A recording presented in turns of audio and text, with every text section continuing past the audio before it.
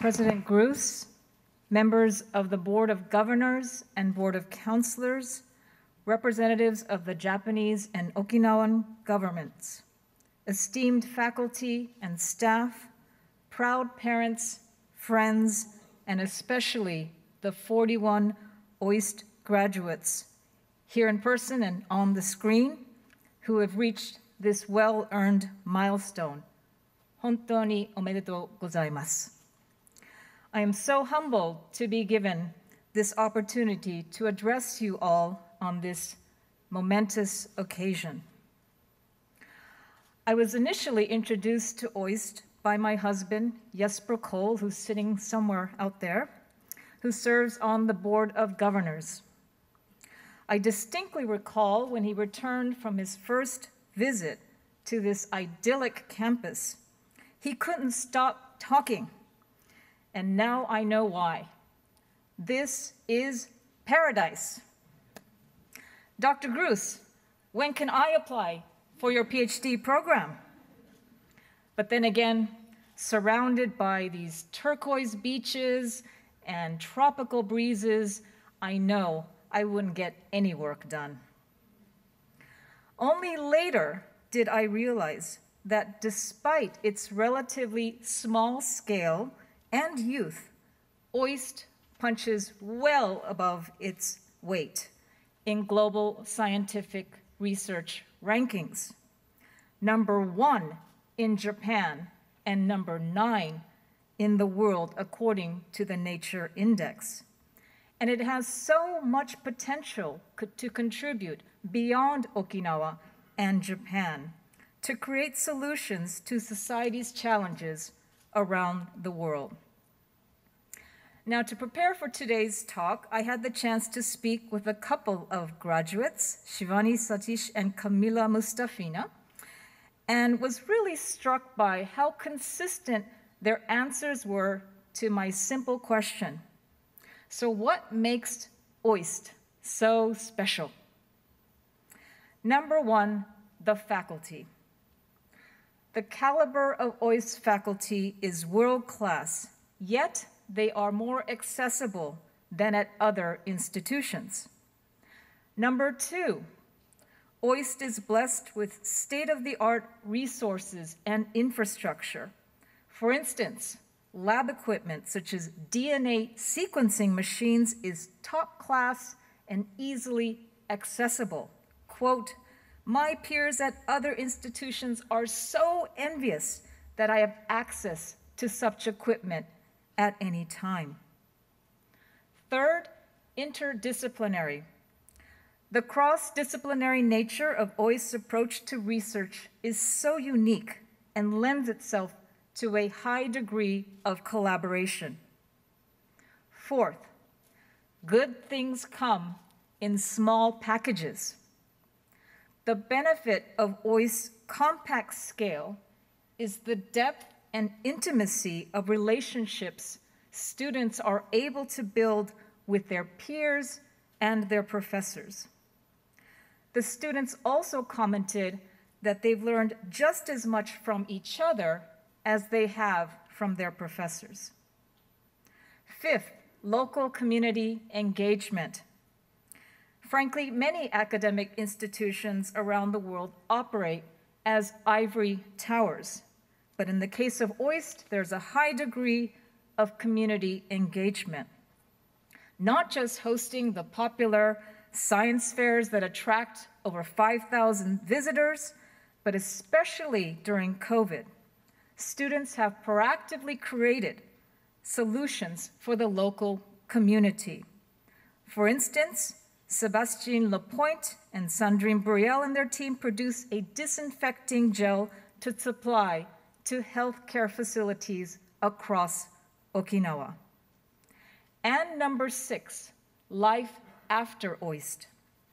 OIST supports students beyond their doctoral degrees. For instance, one of the graduates is participating in an OIST postdoc fellowship that will enable her to help commercialize her research in future. But what exactly is OIST's secret sauce? It is, in my view, diversity, one of OIST's eight core values, namely the diversity of its community. Particularly in Japan's context, the fact that there are 45 countries represented by the student body and 60 countries represented by the faculty, administration, and staff makes OIST a category of one in the nation's tertiary education system.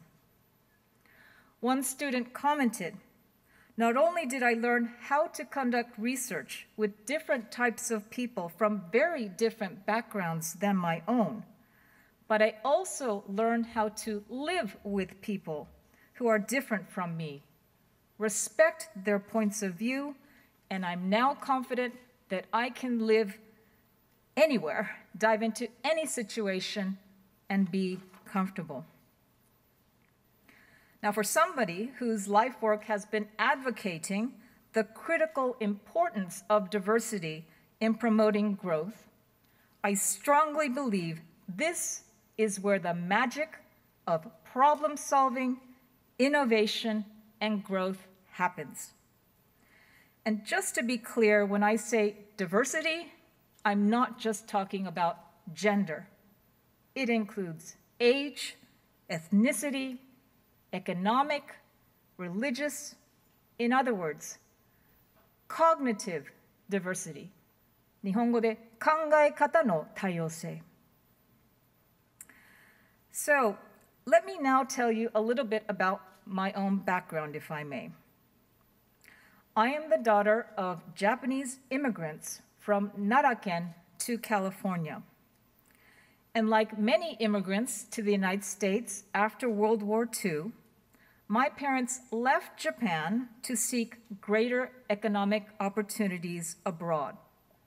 And since my father was a small scale flower grower, his dream was to create a large scale flower nursery in America something impossible to do in his family's tiny plot of land in Nara.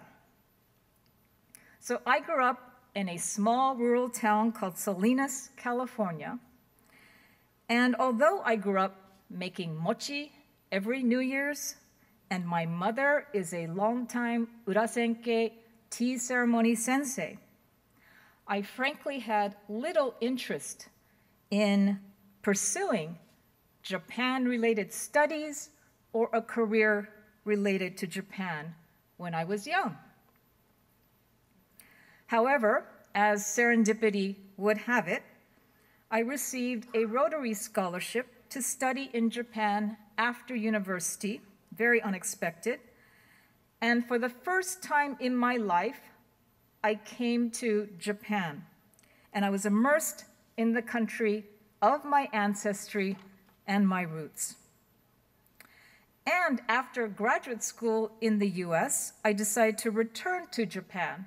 I'll explain why later, and began my career as an equity strategist researching Japan's economy and stock market in 1990. Now, looking back, 1990 was probably the worst time one could start a career in Japanese finance. Shortly before I began, Japan was riding high on an asset bubble of historic proportions.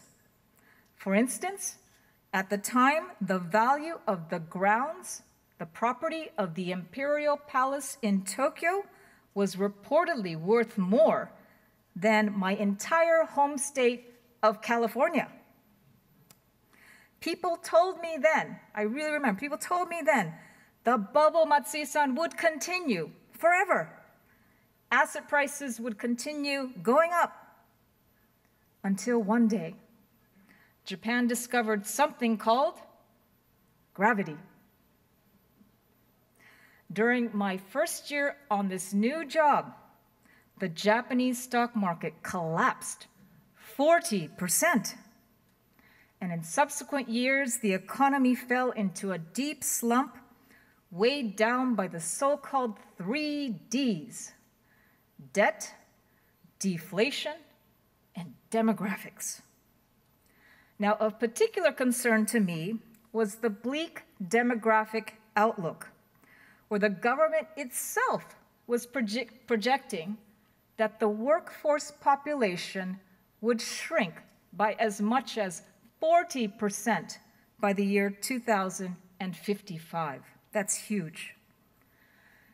Now, not surprisingly, many of my clients, including institutional investors around the world, kept asking me this question Kathy, why on earth should we invest in Japan? Where is the growth going to come from? So that was what I was grappling with in my professional life, okay? Meanwhile, in my personal life, I noticed that after returning to work from maternity leave after our first child was born in 1996, many of my mamatomo, mother friends, encountered numerous difficulties trying to return to their careers full time. So many decided to off ramp and quit their careers altogether. Now, at the time, only 56%, so just over half, of all Japanese working women worked outside the home, which used to be one of the lowest ratios in the developed world. So you see this juxtaposition of my professional and my personal lives in 1999 led to one simple conclusion, and I called it mottainai. Uh, in other words, I was surrounded by a sea of untapped female talent, yet I knew that Japan could not afford to leave half its population underutilized. It was like trying to run a marathon on one leg. And that's what spurred me to build an economic case for raising the female labor participation rate and that could boost economic growth. Hence, the birth of Womenomics.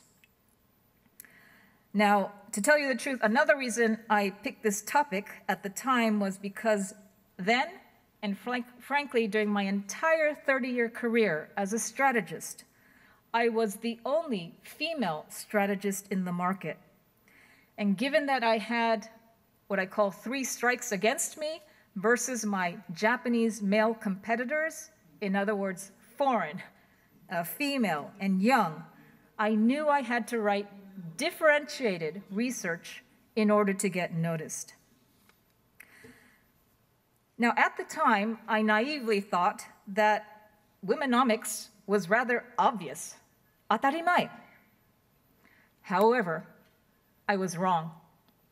I encountered many skeptics Matsui-san, if all the Japanese women work outside the home, isn't that going to lower Japan's already very low birth rate?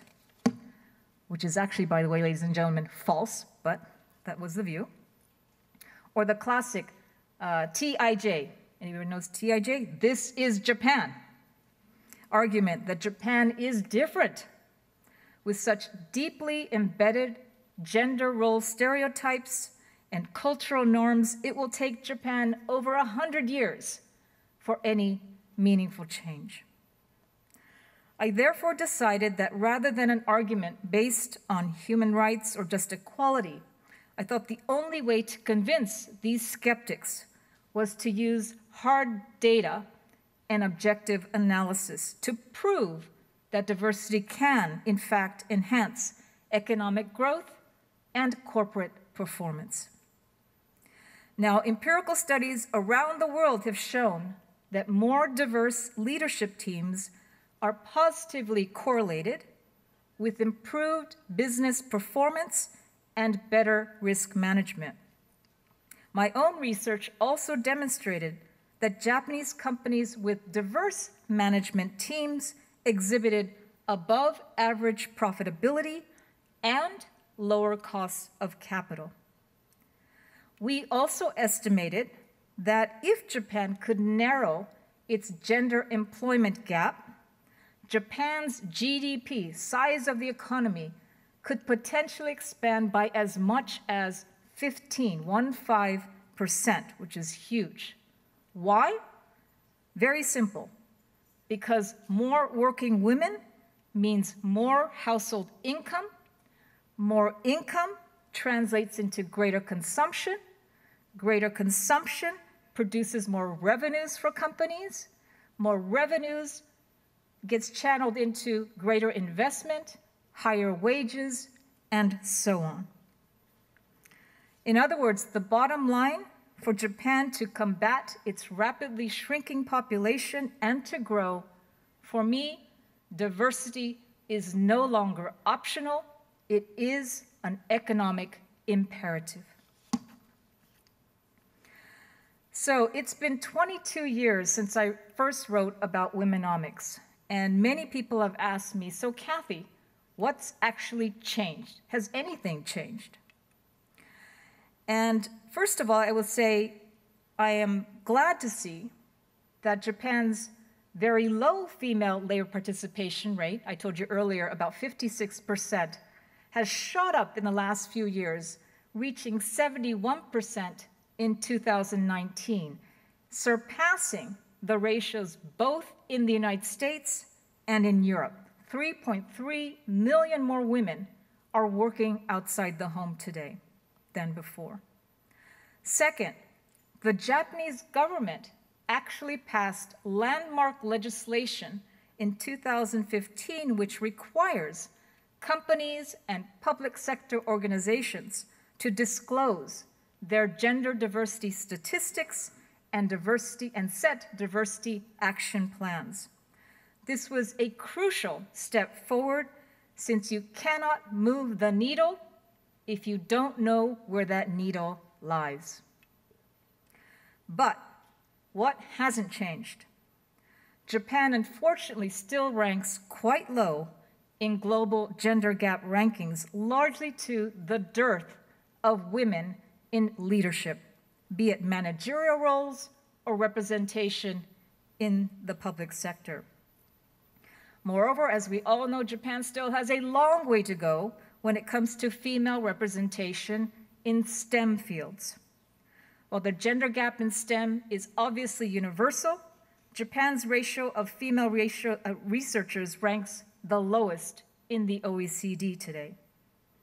We are clearly heading into an era of disruptive change, driven by rapid advancements in technology and digitalization.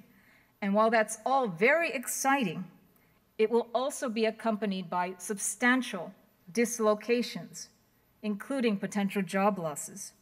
Therefore, we need to ensure that everyone in society, including our daughters and our granddaughters, will be well equipped with the skills and knowledge necessary to thrive in this new world. And in this context, I'm very encouraged to see OIST taking concrete steps to make a difference for women in STEM. Frankly, it's so impressive to see that over 40% of the PhD candidates at OIST are female. And the recent launch of the Rita Colwell Impact Fund for the Advancement of Women in Science will help nurture more women and girls in science and create opportunities for women to advance their careers and become leaders in the field. I applaud you all. So the bottom line is this, for all of you graduates, don't take your diverse experience at OIST for granted. Continue to engage with people outside your discipline, your gender, your religion, and your race. Use your knowledge, empathy, and patience to address the challenges facing the world. We are counting on you. Finally, this wouldn't be a commencement speech if I didn't leave you with some life lessons. So, as some of you reminisce about your final days in the campus village, let me share some of mine. First of all, each of you has attained a level of academic achievement that is reserved for only the top echelon of academicians, and most of you know exactly what you'll be doing next. However, I encourage you all to keep an open mind and heart. Way back when, when I was in university, I was determined that I would join the US Foreign Service. I was in university, I, uh, I, I got an internship with the US State Department, I studied abroad here in Japan for two years, I went grad to graduate school to study uh, international relations, all with the singular goal of working in an embassy someday. Then, during my graduate school summer internship in Tokyo, I met and fell in love with my husband, Jesper, causing me to abandon all of my plans and move to Japan in order to be with him. I had no job, but I had love. So I simply followed my heart, and that was the best decision I ever made. Second, as you all step out into the big world, I guarantee you will make many mistakes, stumble and fall, and think that life is totally unfair. When I was 36, I had just been promoted to become the first female partner at Goldman Sachs Japan. I became the top ranked Japanese equity strategist and had just given birth to my, our second child. Simply put, I was on top of the world. Nothing could go wrong, which is precisely when, when everything went wrong. I was suddenly diagnosed with cancer and had to put everything on hold for eight months of treatment. During this time, one of my colleagues gave me a great piece of advice. She said, Build your own personal BOD, Board of Directors. These are people who you can, you can trust for honest, straightforward feedback, including telling you things you don't necessarily want to hear. My personal BOD is composed of a diverse group of my best friend in high school, my college roommate, my work mentor, my husband, and friends who are far more experienced at motherhood and parenting than me. These friends have holistic views about me, know my strengths and weaknesses, and I respect and value their guidance whenever I hit a roadblock in life. And believe me, I've hit many. So I strongly encourage each of you to create your own personal BODs as well. Third, you have all been blessed by world-class education, working with top-notch faculty in this slice of paradise called Okinawa. However, with such privilege comes responsibility. As you head out into the world, remember all those people who have supported your journey to this point. Stay in touch with your professors and peers, and I guarantee they will prove very helpful in the next chapter of your lives. And above all, don't forgive, don't forget to give back to the next generation at OIST, just as your seniors have supported you. Finally, allow me to end with two pieces of wisdom from leaders I admire. First comes from the former US Secretary of State, Madeleine Albright. Quote, to succeed, you will require the kind of knowledge that extends way beyond mere facts to knowledge of self. From this day forward, you will have to rely not on grades or guidance from professors to tell you how you're doing you will have to rely instead on an inner compass. Whether that compass is true will determine whether you become a drifter who is blown away, blown about by every breeze, or a doer, an active citizen determined to chart your own, your own course, question your assumptions, and when necessary, sail unafraid against strong winds. My second quote comes from Navy Admiral William McRaven, who famously wrote, If you really want to change the world, start by making your bed. If you make your bed every morning, you will have accomplished the first task of the day. It will give you a small sense of pride and it will encourage you to do another task and another and another. By the end of the day, that one task completed will have turned into many tasks completed. Making your bed will also reinforce the fact that little things in life matter. If you can't do the little things right, you will never do the big things right. And if by chance you have a miserable day, you will come home to a bed that is made, that you made. And a made bed gives you encouragement that tomorrow will be better. So if you want to change the world, start by making your bed. Now, one last homework assignment. I know you weren't expecting this, but before I leave you, graduates, after this ceremony is over, call. Do not text, call your parents.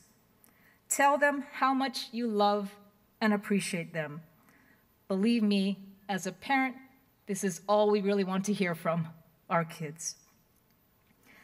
Thank you. Uh, congratulations again to all of you OIST graduates. We are so proud of you. Go out and change the world, but don't forget to make your bed. Thank you very much.